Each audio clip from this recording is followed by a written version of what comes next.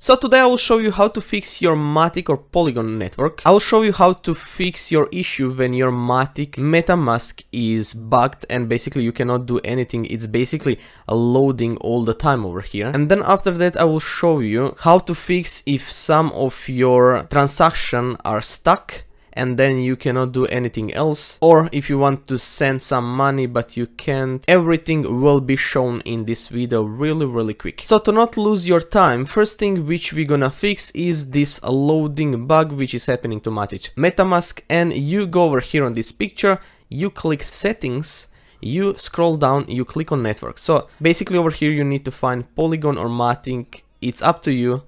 Depends how you called it and you click over here and what you need to change is you need to put new RPC URL. So over here on this uh, notepad I have one link which can help. You copy that over here, you click on it and now over here you click on the app and over here you go to network details and over here you click on network and you need to find, you need to scroll down and you need to find this RPC. And over here you have few links and you need to pick one which you want to use. You copy it, you go back to your MetaMask you do the same you click over here on this picture you go settings you find network your polygon or matic and then over here you need to change old one which you have because it's not good anymore.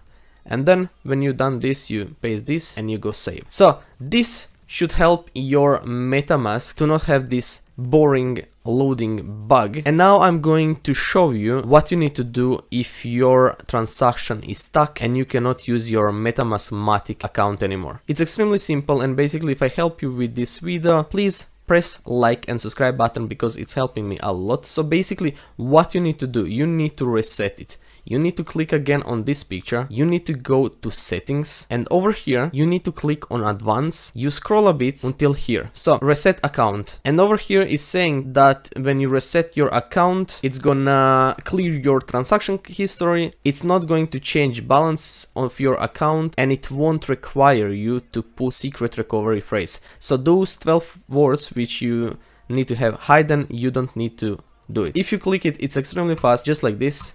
Reset and it's all done. Basically you have no activities anymore and uh, yesterday I had that issue.